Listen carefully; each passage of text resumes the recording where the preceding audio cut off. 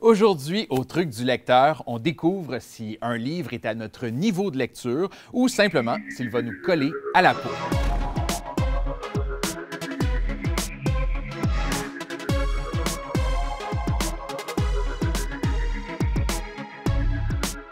Bon, on me pose toujours plein de questions en lien avec les livres, mais ce qui revient peut-être le plus souvent, c'est est-ce qu'un livre est à mon niveau de lecture? Euh, est-ce que je suis trop jeune pour lire ce livre-là? Ou même, est-ce que je suis trop vieux pour lire ce livre-là?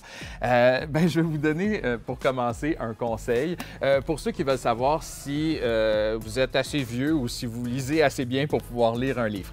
salutations d'ailleurs à Madame Valérie qui m'a enseigné ce truc.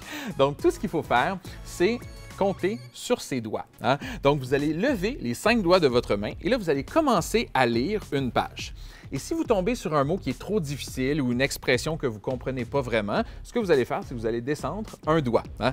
Et là, vous continuez comme ça. Et à la fin, si vous n'avez plus de doigts, ben c'est signe que peut-être que le livre est trop difficile. Donc, qu'est-ce qu'on fait? On le note et on le garde pour nos lectures un peu plus tard. S'il vous reste des doigts, ben c'est bon signe, hein, probablement que vous allez être capable de lire et de profiter de ce livre-là. Bon, maintenant, pour les adultes, c'est la même chose. Hein. On me dit toujours Ah, comment on fait pour savoir si un livre est bon ou pas?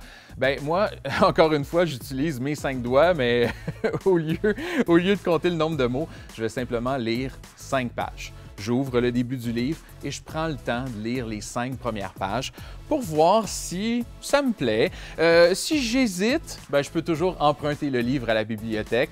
Hein? ça coûte rien.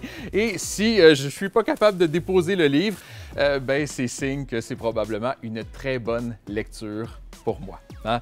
Alors, soyez curieux, hein? prenez le temps de feuilleter les livres. Je suis certain que vous allez découvrir un titre qui va vous plaire. donc, Prenez le temps euh, d'aller être curieux sur toutes nos plateformes hein, pour voir encore plus de, magie, de musique, d'informations sur les spectacles. Hein. Et nous, on se revoit très bientôt pour un autre truc du lecteur.